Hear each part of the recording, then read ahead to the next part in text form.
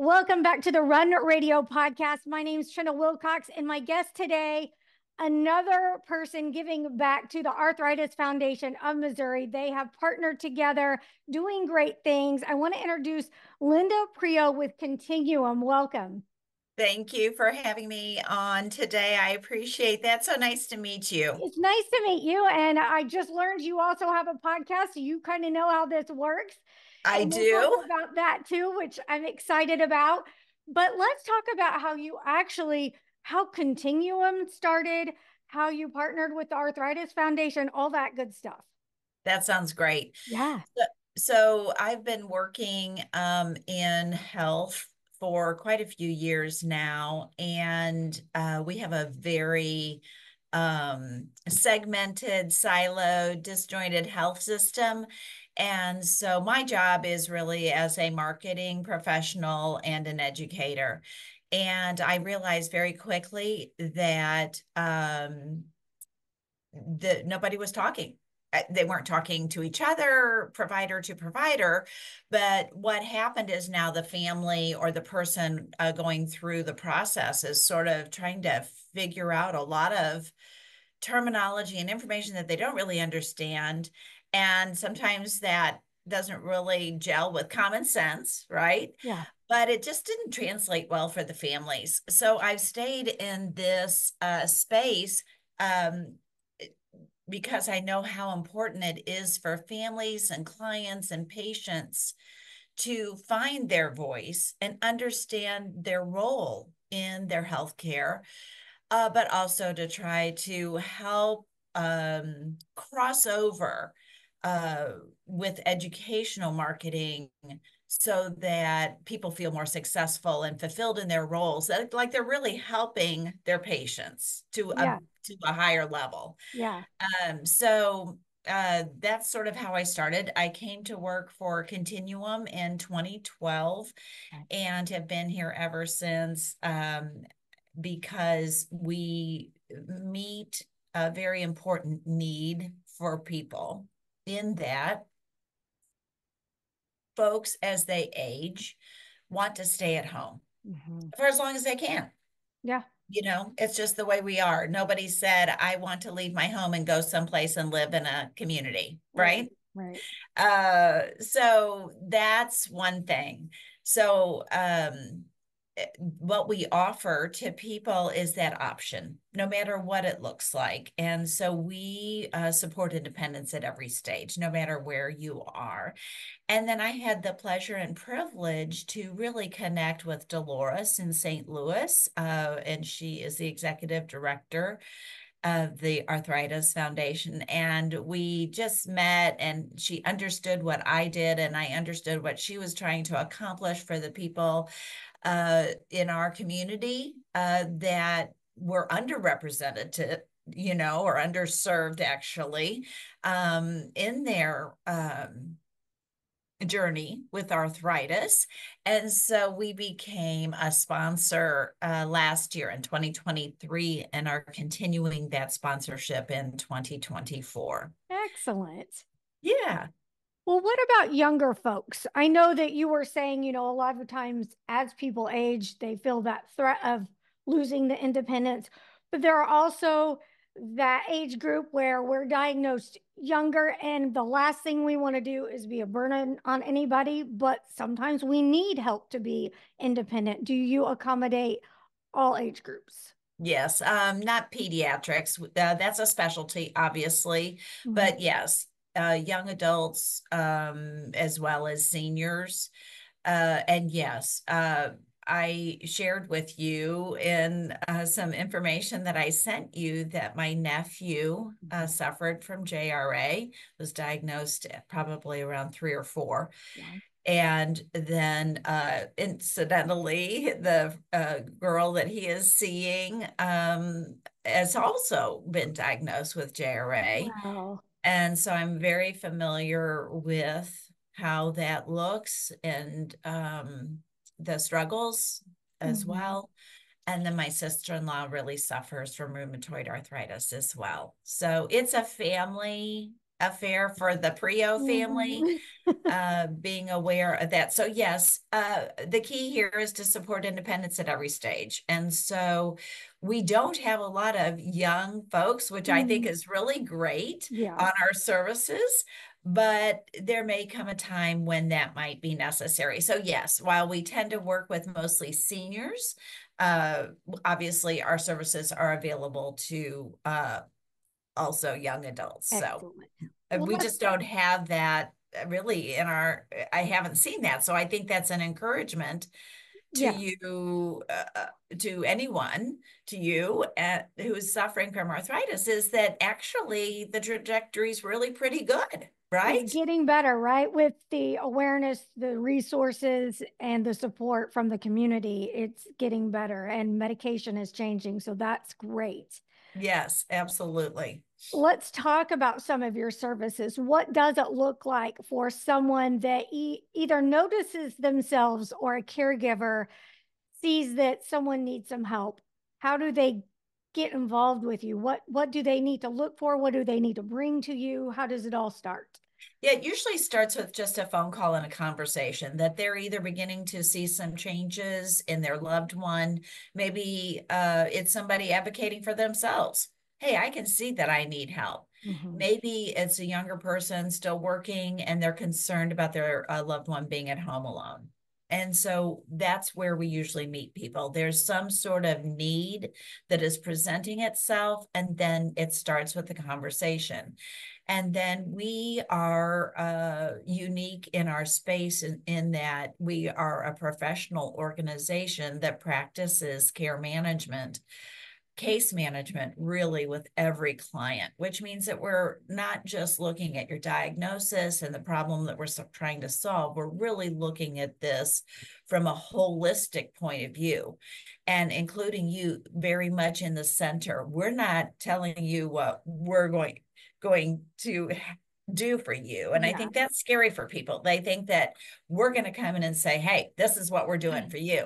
No, we want to hear the things that you're struggling with and how best we can support you independently.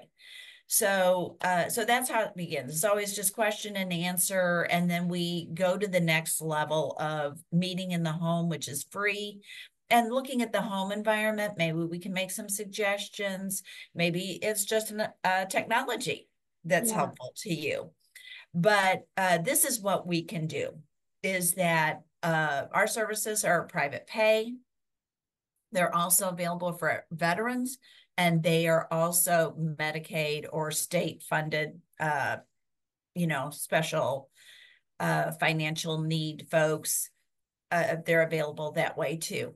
And so, uh, depending upon the client and what their needs are, maybe it's going to shop shopping and bringing things home and then opening or you know getting those things that are harder to open Yeah. uh, and getting things so that you just have to lift off the top or whatever it is. That's we see that a lot. It's Mhm. that that twist, you know, reflex. It's so hard sometimes. Sometimes people have their laundry in the basement. The basement is not accessible at this point, so we can help with laundry. Light housekeeping, put the dishes in the dishwasher out, help prepare meals or stand alongside somebody who wants to prepare their me- meal, but because of the disease process is so tired afterwards that we can just clean it all up and make it look perfect Yeah. again. Yeah. And really, that's a lot of emotional support. People think I've got to pay for that. Well, it's the emotional support. If you are not feeling well and you're watching your world get Mhm. messy, you know, dishes everywhere, Mhm. laundry undone, things not taken out, trash not taken out, um, trash not taken to the curb, um, beds not made or, or bed sheets not changed. That really pulls you down emotionally. Oh, yeah. So there's there's a support factor that comes from that. Transportation is something that we offer our clients. Uh, we're also able to help with dressing and grooming. And so at the advanced stages, maybe somebody needs a little extra support on and off the toilet or in and out of bed or the shower. And so we can provide as much support or as little. And then we also recognize that sometimes uh, when you have a disease process, it can affect um, your cognitive skills. And so we are able to help folks that are suffering from um, dementia mm-hmm. or cognitive impairment or uh, disease related cognition um, decline and uh, we can do that in a couple of different ways. We're able to provide care in the home with cueing and reminders and one on one care. But we also have a beautiful adult day program. We call it the club.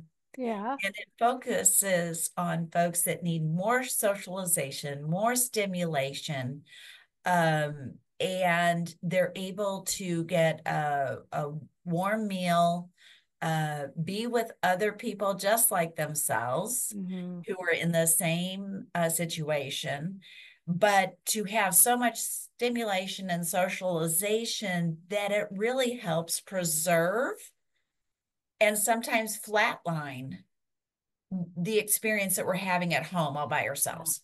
Yeah.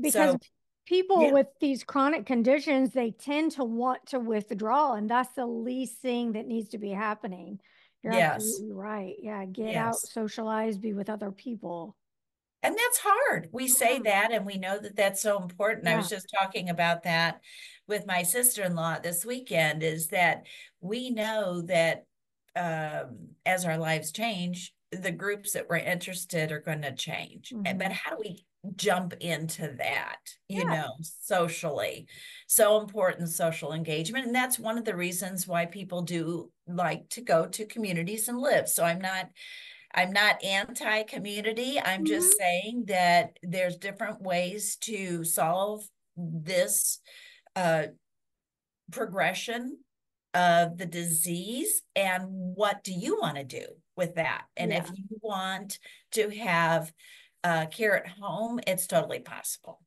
Do you do overnight care? Yes. Okay. Now yes. let's talk about then the people that help you out. These it takes a very compassionate, understanding person to help do this kind of work. What if someone is listening and thinking, man, I, I would like to serve? Do they need to be a nurse? Do they need to be certified in anything? Explain what that person needs to have in order.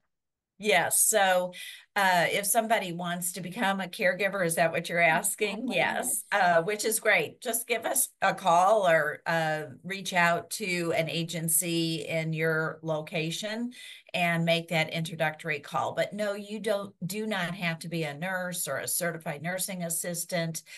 Uh, but we are finding uh, that uh, the care needs have advanced Oh, All right. Okay. So it's not just companionship care, usually, it's hands on care. Okay. So uh, you can get experience by taking care of a family loved one. And we're also going to want to see that you have the obviously compassion is the number one. Yeah. And being safe to be in your home. If yeah. you're not safe to be in my home, we're not going to hire you. Yeah. So if, if we wouldn't allow somebody in our homes, we're not going to allow them in your home. So obviously background checks are going to be very important to us. We're one of the few agencies that drug tests. Uh, these are our employees, so you are you would be covered with liability insurance and uh, workers' comp. So compassionate care, somebody who's really interested in in helping somebody be successful, and that because each client is unique, we're also matching that skill set with that client. But obviously, if somebody wants to become a caregiver, you would start off with more of a companionship like housekeeping, transportation, shopping shift. And then we offer additional training as well in our office. So Yes, it, uh, we would love to talk to anybody who's yeah, interested in becoming sure. a care partner for for someone who needs extra help.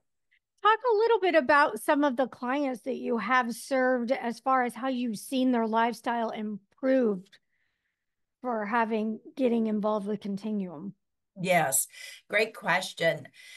Um, we actually uh, start and end clients all the time.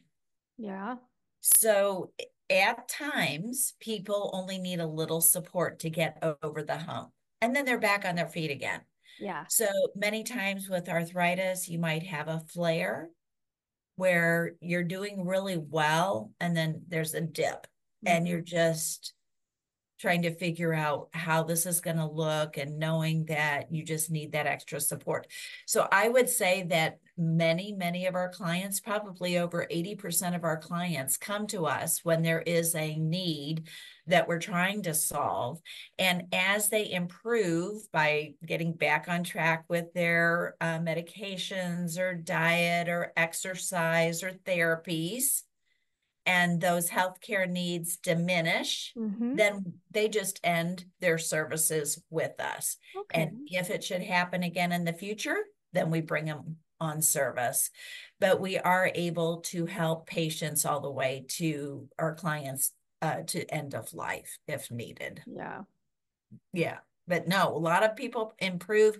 And that's really what we're designed to do is to come alongside help you get better by putting enough interventions in place uh, to help you be successful. Yeah. And that's where we find our our clients, families, or the client themselves is like, no, that's just too much care. And we're just trying to say from our experience, do you really want to readmit to the hospital or do you really want to be safe and yeah. have the best opportunity to get well? You could almost look at it as another form of medication you know like if you if you need this to function better take it. So take the help as a form of being better and being more independent and feeling you know better inside as well. And that's really i think you just tapped into that something that's really hard for everyone is to say i need help. Yeah it really is in my younger years, I was blessed to know several ladies who um, had MS. Mm. And of course, it's another disease that hits people so differently. You know, yeah. everybody's situation is so different different but that's what i noticed about them that they were able to ask for help when they needed it and then when they didn't need it okay yeah. i'm good again yeah. thanks so much for the help and support i appreciate that yeah my feet again. Yeah, sometimes that's all it takes is a little bit of support to go a long way. Right. Let's talk about your podcast, what you talk about, where people can go to hear it. Yes. Well, after years of experience and working with families and being in this space, I understand the lack of knowledge that people have. So whether it, it at whatever stage you find yourself in a health situation, obviously we love to have lots of information. Yeah. But sometimes navigating your health system is not as easy as we would like for it to be. Yeah. And uh, you may also be not only navigating it for yourself, you might be helping senior parents, mm-hmm. right? Mm-hmm. Or friends or partners or whatever. You you want to help them live their best life. And I feel like living my best life uh, includes education and knowledge. Um, if I don't know what I need to know, I can't really make a decision, right? Yeah. Yes. Um, and, but if you tell me what I need to know or help me to learn that, then I can move forward. I'm not sitting looking at the blue swirl on my computer, just going around and right, round and round right, and round. Right. Right. Yes. And I think sometimes uh, professional guidance is underutilized. I've mm-hmm. noticed that families think, well, I know it all. Yeah. I don't know it all. I had my mother lived to 100, and believe me, I had to navigate that as an only child every day. Oh, and right. Oh so, my goodness. Yeah. Yes. Yeah, so you don't get the easy plan, even if you're knowledgeable. Yeah. So I, I do find so that professional guidance and help is underutilized. So my podcast is called Aging in Place Strategies and Answers. I launched last year out of a desire to get information out to people who might find themselves in this space. And so I offer guidance and education on a variety of different topics that you're going to experience as you plan to age in place, as you plan to retire and think about what's next, how you're going to live this longevity. Because, like I just told, said earlier, and you agree with me, trajectories are really good. But we know that sitting down doing nothing is not really good for us, Right. right? Right. So it is full, jam packed of wonderful advice. So really sharing it with others and um you know following the show is is wonderful i appreciate all that but my my higher aim is that it's really beneficial uh mentally uh emotionally and physically to the people who listen Yeah, I'm glad you're sharing that. First of all, patient advocacy, there's not enough of it. We have to be our own advocates. It's like you're saying, the conversations between the patient and the healthcare system are difficult to navigate and it's stressful. And to have someone Yeah. else, you know, to be able to turn to for some answers or ideas, even is so helpful. It's amazing because I think about times where I don't feel well, but I know what I have to do to bug the pharmacy, bug the doctors, all this kind of stuff. And it's hard. And for people that don't know that, and maybe they're newly diagnosed, it stresses me out for them to think that they're not knowing that they've got to push, they've got to do the calls, they've got to stand up for themselves because it won't just happen. yes So I'm glad that there are those resources and other people saying you've got to advocate for yourself. You've got to get people in place to help you out. And I have a friend now who's navigating the waters of being an only child and aging parents. And it's like, I mean, it's a lot on her shoulders. We think it's going to be easy. I was a mom, I'm a mom of three adult children now, and I thought I can take care of my mom. This is ah. no Oh. problem. Take care of my mom, work, be a grandmother, be a good employee, blah, blah, blah. I think day two, I I remember thinking, what just happened to me? I don't know if I'm going to make it. So fortunately, I have pretty I have established uh, coping skills along the way, but there's all kinds of times where I had to lean on my office staff and say, What is my next step? Because my head got into a blur. I was emotionally connected. And that's what the professional advice does. You're sitting in a swirl, whereas because I'm a professional and I have no emotional skin in the game, no financial gain in the game, I can te- I can I can cut through all the noise and just guide you to the next step. And and that to me is invaluable. It Right. is excellent. And, I- and I'm sorry you had to go for that, go through it, but I'm glad you're turning it around and sharing your experience. What were some of the surprising things you said by day two? What were some of the things that hit you all at once that surprised you? Well, I think uh, we don't understand as a caregiver the emotional component. Yeah. And so at the end of every podcast, I always have a caregiving tip Okay. because I failed, right? I took care of everybody above myself, right? But I think the emotional, the the skill set was there. Yeah. The organization lining things up. So I need to get up at this time to take care of myself. I need to get my mom's pills, her food, get everything lined up for the caregiver that was coming in. I need to have what I needed to go to work, right? Yeah.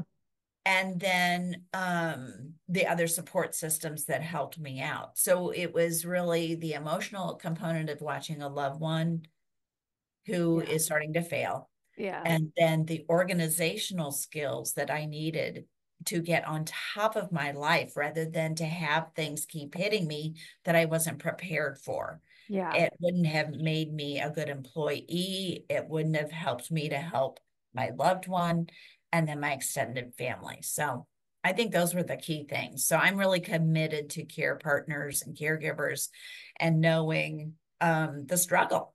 And, yeah. and, and I don't, I think we underplay the emotional component. We feel that we can just handle it all. And it's not true. It's you're going to go down and you're going to go down hard. and yeah. nobody wants to do that. No, no. So organization is very important. That's a key takeaway. Yes. Um, what about, let's see, I had another question if I can remember.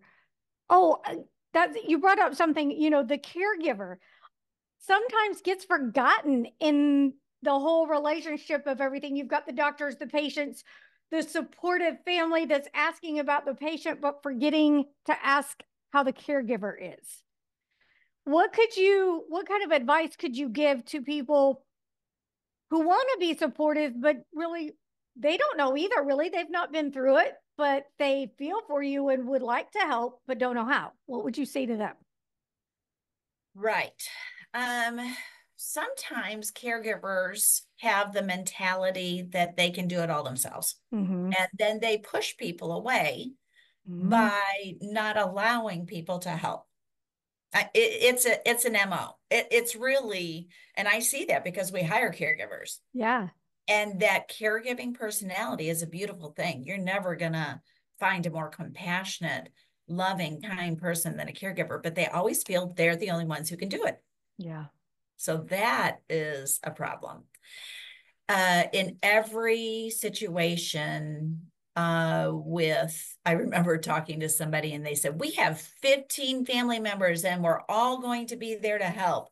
The next day they called and they said, Remember, we had all 15 people and they were going to be there to help. Well, only about four of us are really committed. So right.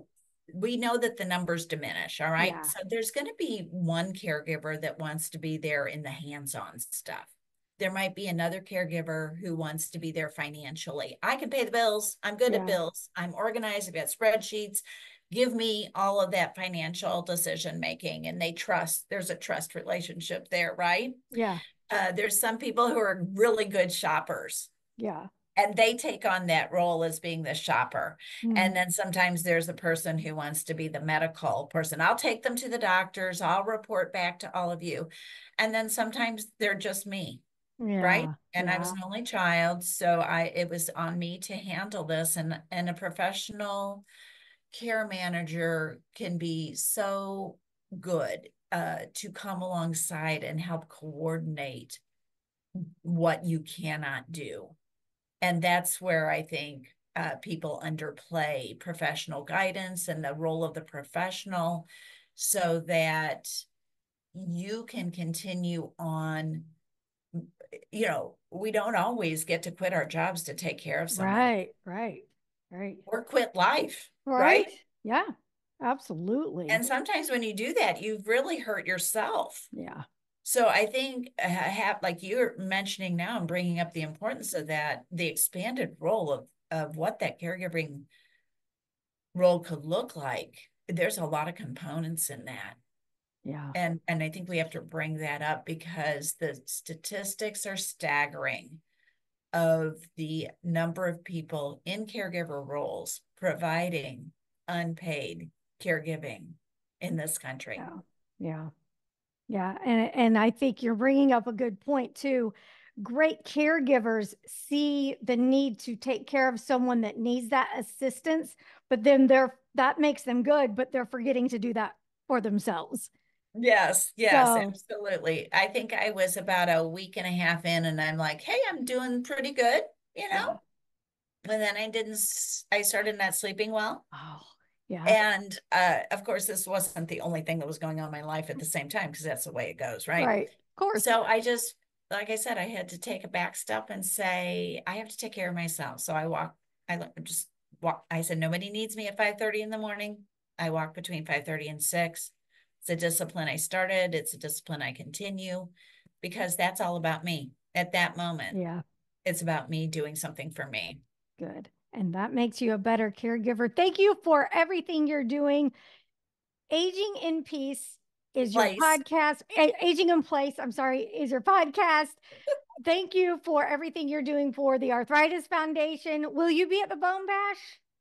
I will not be at the Bone Bash, but okay. um, we're doing the Jingle Bell Run. Yes we did the walk in the spring, which okay. included the younger uh, folks, which was yep. so fun. And I'm telling you, the Arthritis Foundation in St. Louis knocks it out of the park. They so do. fun. Doesn't matter what event you're coming to love seeing what they put together. So ex- I'm excited about the Jingle Bell Run. My grandkids and family members got a lot out of it, and Good. we just uh, felt like it was a really wonderful way to support our family members with arthritis and uh, to meet with families who were looking for solutions. Excellent. Good deal. Thank you so much for what you're doing. I appreciate it. Come back anytime, and I will be sharing about your podcast for sure. Thanks for being on mine. You can follow along and listen to more. Link over to watch videos on all platforms from runradio.net. Thank you.